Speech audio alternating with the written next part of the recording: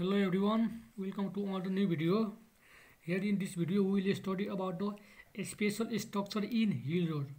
Okay uh, we are studying hill road uh, chapter okay in transportation engineering. So uh, in this video we will uh, especially discuss about the different types of uh, special structure okay that are uh, to be used for the hill road okay and in this we basically discuss about the uh, different structure uh, like retaining structure uh, retaining structure in road uh, like uh, river training structure river training structure okay slope stabilization okay uh, like uh, gully control. Gully control and we also discuss about the uh, road safety. Road safety. Okay so basically uh, in a special structure in hill road we will study about the these uh, different types of structure. Okay so now uh, let's start. The first one is retaining structure okay so let's get started र यो video start गर्नुभन्दा अगाडि please च्यानललाई नयाँ हुनुहुन्छ भने subscribe गरिदिनुहोस् र भिडियोलाई लाइक गरिदिनुहोस् ओके सो हेरौँ construction of hill road involves many special structure होइन? अब चाहिँ हिल रोड बनाउनु पऱ्यो भने अभियस कुरा हो होइन? हामीले चाहिँ कुनै पनि रोड चाहिँ पाहाडमा बनाइरहेका छौँ भने त्यहाँ त हामीले चाहिँ धेरै किसिमका स्ट्रक्चरहरू बनाउनु पर्ने हुन्छ होइन? टनेलहरू भयो होइन? डिटेनिङ स्ट्रक्चरहरू भयो होइन? सेफ्टीका कुराहरू भयो ड्रेनेजका कुराहरू भयो सबै कुरालाई के गर्नुपर्ने हुन्छ हामीले इच एन्ड एभ्री प्या प्यारामिटरहरूलाई चाहिँ हामीले इक्वली चाहिँ ध्यान दिएर बनाउनु पर्ने हुन्छ होइन? किन भन्दा त्यो भनेको धेरै चाहिँ रिस्की काम हो होइन? हिल रोड बनाउनु सर्फे नर्मल रोडको कम्पेयरमा त्यही भएर चाहिँ के छ त यो चाहिँ एउटा कम्प्लेक्स वर्क जस्तै हुन जान्छ।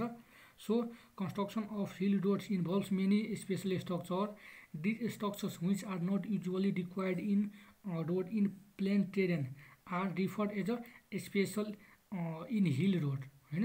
अब यो भनेको के हो त भन्दाखेरि स्पेसल स्ट्रक्चर भन्ने बित्तिकै हामीले चाहिँ के बुझ्नु पऱ्यो त? यदि हामीले प्लेन ट्रेन छ भने त्यहाँ जुन हामीले रोड बनाउँछौँ त्यहाँ स्पे जुन स्ट्रक्चरहरू हामीलाई चाहिँदैन तर हिल रोड बनाउनको लागि त्यो स्ट्रक्चरहरू चाहिन्छ नि होइन? त्यो स्ट्रक्चरहरूलाई नै हामीले के भन्छौँ त? स्पेसल स्ट्रक्चर भनेर बुझ्छौँ होइन? जसमा चाहिँ के आउँछ त? रिटेनिङ होइन? रिभर ट्रेनिङ होइन त्यो कुराहरू आउँछ। These may include wide range of structure which are use to retain soil mass होइन सोइल मासलाई रिटेन गर्नु पऱ्यो सो द्याट के होस् त? हामीले बनाउने हिल रोड स्टेबल होस्।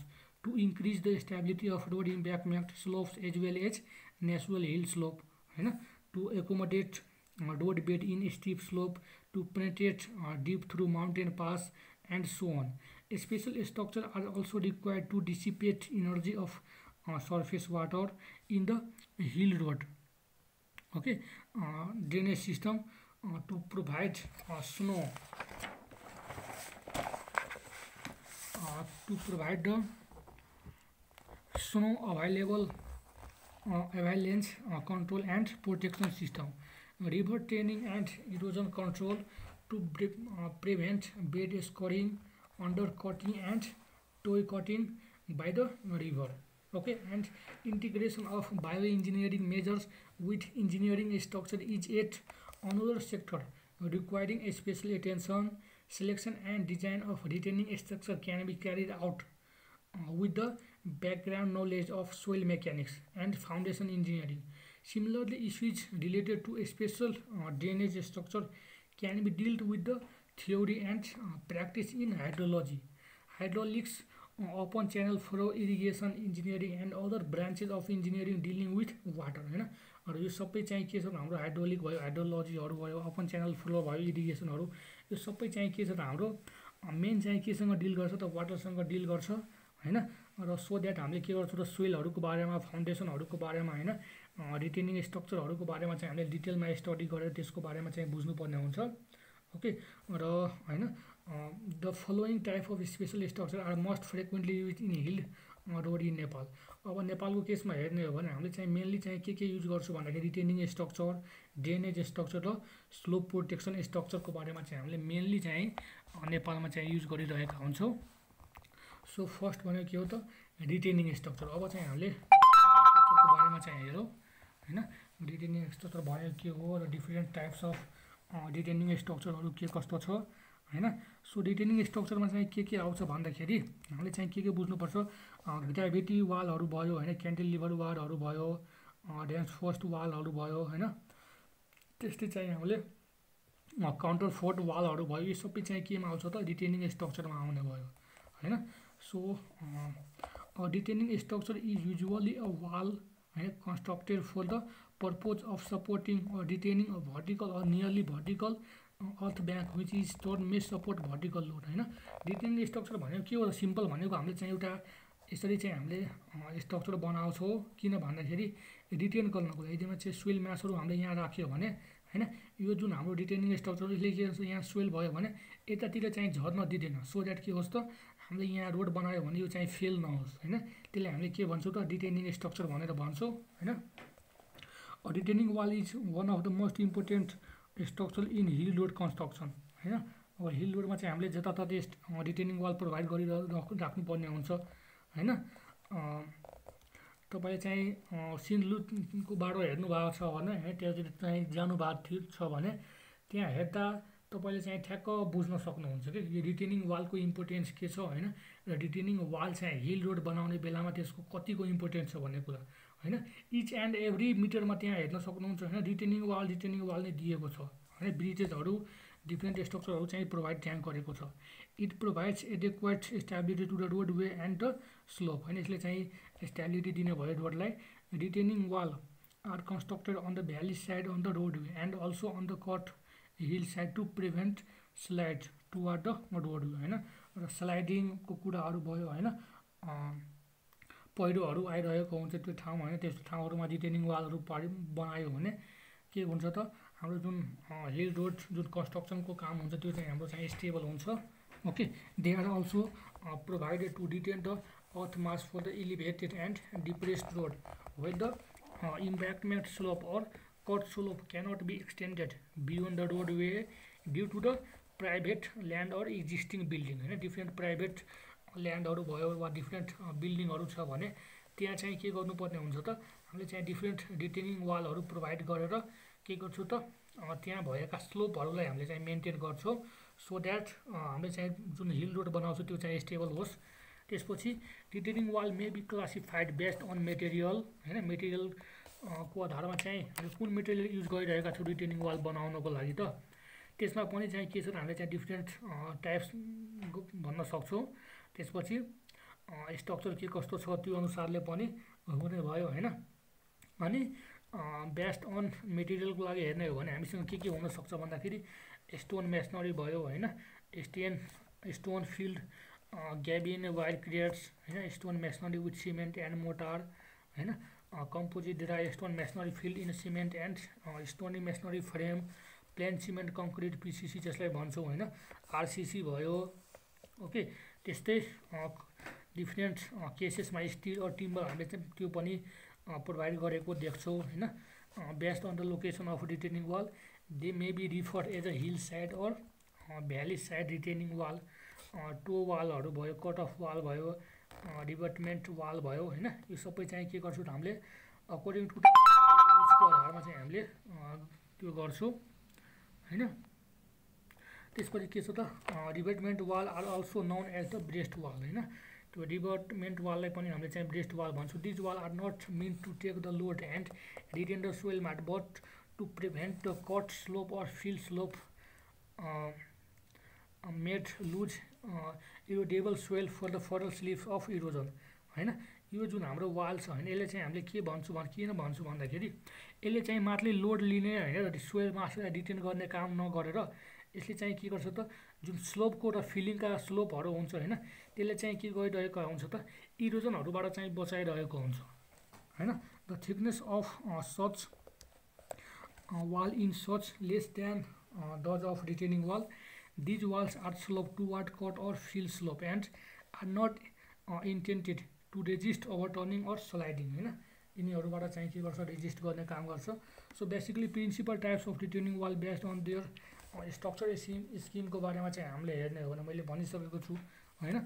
ग्राभिटी वाल भयो सेमी ग्राभिटी वाल भयो क्यान्डिलिभर वाल भयो होइन? काउन्टर फोर्ट वाल भयो बटर बट्रेस्ट वाल भयो क्रिब वाल भयो रेनफोर्स्ट सोइल वालहरू भयो होइन? यसरी चाहिँ gravity semi gravity cantilever counter fort होइन? यो हाम्रो चाहिँ रिटेनिङ वालहरू चाहिँ हामीले डिफ्रेन्ट टाइप्सहरूको बारेमा चाहिँ यसमा हेर्नेछौँ होइन? सो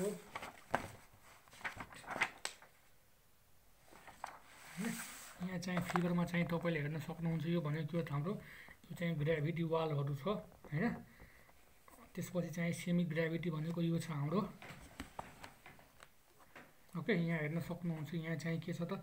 एक साइडमा चाहिँ स्लोपिङ छ एक भने एक साइडमा चाहिँ के छ त? स्टेट छ होइन? र सेमी ग्राभिटी भनेको यो चाहिँ हाम्रो सेमी ग्राभिटी रहेको छ। त्यस्तै क्यान्टिलिभल वालमा तपाईँले यहाँ हेर्न सक्नुहुन्छ होइन? यसरी चाहिँ स्थित बनाइएको छ भने र यहाँ चाहिँ कुनै तलबाट सपोर्ट दिएको छैन भने त्यसलाई चाहिँ क्यान्टिलिभर भनेर हामीले चाहिँ बुझेकै कुरा हो होइन? त्यसपछि यो भनेको काउन्टर फोर्ट हो। होइन यसरी चाहिँ हामीले कुनै पनि स्ट्रक्चर बनाएर साइडबाट यसरी सपोर्ट दिइरहेका छौँ भने त्यसलाई हामीले के भन्छौँ त काउन्टर फोर्ट वाल भनेर भन्छौँ होइन? त्यो कुराहरू हुने हुने भयो। त्यसपछि के छ त हाम्रो बटर स्टेस्ट वालमा चाहिँ के हुन्छ त त्यस्तै होइन काउन्टर फोर्ट जस्तै चाहिँ हामीले दिइरहेका हुन्छौँ। तर चाहिँ के हुन्छ भन्दाखेरि अर्को साइडबाट पनि चाहिँ के हुन्छ त हामीले चाहिँ सपोर्ट दिएका हुन्छौँ भने त्यसलाई हामीले के भन्छौँ त बटर स्टेस्ट वाल भन्छौँ। त्यस्तै चाहिँ के छ त हाम्रो रिटेनिङ रिटेनिङ रेनिङ वाल भनेर छ। ओके? रेनिङ वाल भनेर चाहिँ यो रहेको छ। होइन रिटेनिङ वाल भनेको हामीले चाहिँ बुझेकै कुरा हो होइन? सोइल मासु रिटेन गर्नको लागि जुन हामीले स्ट्रक्चर दिन्छौँ त्यसलाई चाहिँ रिटेनिङ वाल भनेर भन्छौँ। त्यसपछि अर्कोमा के छ भन्दाखेरि यहाँ हेर्न सक्नुहुन्छ होइन? हिल साइड रोडको लागि हामीले कटिङ गर्छौँ होइन? यो पार्टहरूलाई फिलिङको पार्टहरू यसरी चाहिँ फिलअप गर्ने काम गर्छौँ होइन? त्यसपछि कटिङ यहाँ चाहिँ डिप्रेस्डको भयो होइन? रोड भयो इलिभेटेड पार्टहरू भयो होइन? यसरी चाहिँ तपाईँले फिगर हेर्दा हुन्छ। होइन यहाँबाट बुझ्नु धेरै कुराहरू हामीले चाहिँ बुझ्न सक्छौँ। र ग्रिब वाल चाहिँ के छ भन्दाखेरि यो चाहिँ हाम्रो स्पेसल टाइपको चाहिँ ग्रिब वाल चाहिँ हामीले प्रोभाइड गर्छौँ होइन? यो अकोर्डिङ टु द रिक्वायरमेन्ट हुने भयो होइन? कुन ठाउँमा चाहिँ हामीले ग्रिब वाल चाहियो त्यो ठाउँमा चाहिँ हामीले स्पेसली चाहिँ प्रोभाइड गर्छौँ। र यतातिर हाम्रो के छ त यो भनेको स्टेजको चाहिँ फेस रहेको छ भने यो जुन साइड देखिराख्नु भएको छ योभन्दा चाहिँ यतातिर यो चाहिँ के हो त अर्थ फिल हुने भयो होइन? र यो सबै चाहिँ के छ हाम्रो अर्थ फिल छ। र यो साइडमा जुन देखिराख्नु यसलाई चाहिँ हाम्रो भन्छौँ त ब्याक स्ट्रेचर भनेर भन्छौँ यसलाई चाहिँ के भन्छौँ त फेस स्ट्रेचर भनेर भन्छौँ। ओके सो त्यो कुराहरू हुने भयो। त्यसपछि होइन यहाँ चाहिँ हाम्रो कट कट भएको छ पार्ट यहाँ हामीले हेर्न सक्छौँ। ओके सो यसरी चाहिँ के हो त this types are sometimes varied and modified to achieve the best economy होइन? र बेस्ट इकोनोमिकल बनाउनको लागि होइन सर्ट बनाउनको लागि हामीले के गर्छौँ त समटाइम्स यो स्ट्रक्चरहरूलाई भेरिफाई गर्न भेरिफाइड डिफ्रेन्ट टाइप्सको गर्न सक्छौँ वा यसलाई मोडिफाइड गरेर पनि हामीले चाहिँ युज गरेको पाइएको पाइ पाइन्छ होइन? Each type must be design to satisfy the following criteria होइन? र यसो गर्दा चाहिँ हामीसँग यो जुन क्राइटेरिया छ यो दुइटा होइन यो दुइटा क्राइटेरिया चाहिँ मिट हुनैपर्छ होइन? त्यो क्राइटेरिया के छ भन्दाखेरि सोइलको एउटा क्राइटेरिया आउने भयो भने एउटा चाहिँ स्टेन्सको कुरा आउँछ। सो हेरौँ फर्स्ट क्राइटेरिया के छ त हाम्रोसित? The stability of wall and structure strength of each component or section of wall this involves proportioning preliminary dimensioning determining thickness of wall checking against overturning sliding etc होइन? यो कुराहरू चाहिँ के हुन्छ स्टेबल हुनु पऱ्यो त्यसपछि सेकेन्डमा के छ त हाम्रो? The stability of foundation soil होइन?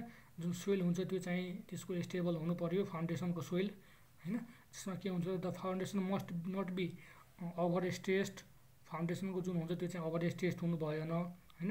जति चाहिँ लिमिट छ स्टेजको त्यो लिमिटमा हुनु पऱ्यो त्योभन्दा चाहिँ बढी हुन पाइएन। For this purpose toe pressure heel pressure and bearing pressure bearing pressure of the soil foundation must be checked against their permissible values त्यसपछि के त? Furthermore the design of retaining structure should include the selection of the type of wall होइन? त्यस्तै के छ त? Material for the construction specifying backfill material compaction requirement of backfill material and provision for the backfill drainage okay so यो कुराहरू आउनुभयो। त्यसपछि in the general the selection of material for construction retaining wall and their use is based on their comparative cost होइन? अब चाहिँ हामीले retaining wall बनाउनको लागि कुन कुन मेटेरियलहरू युज गर्छौँ त हामीले होइन? त्यो चाहिँ केमा डिपेन्ड गर्ने भयो त? त्यसको कोस्टमा डिपेन्ड गर्ने भयो होइन? त्यसको लोकेसनमा डिपेन्ड हुने भयो। अभाइलेबिलिटी अफ मेटेरियल के छ होइन? त्यसको पोर्टेबिलिटी के छ होइन? कन्स्ट्रक्सनको इजेजहरू के कस्तो छ होइन? त्यहाँ अभाइलेबल टेक्नोलोजी हामीसँग के छ होइन? त्यसलाई चाहिँ हामीले कसरी चलाउँछौँ नो नो हाउ होइन? त्यो कुराहरूमा चाहिँ के हुने भयो त हाम्रो